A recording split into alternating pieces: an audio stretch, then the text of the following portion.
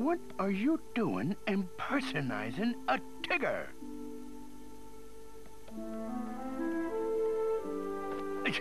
Piglet? Kanga? Oh. Eeyore!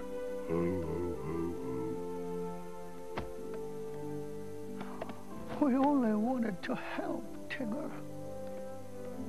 Oh. Now I understand. It was all a big joke. Well, that's all right. Because somewhere out there, there's a Tigger family tree full of my real Tigger family. I got a letter to prove it. And I'm gonna find them. So, TTFE, ta-ta, forever.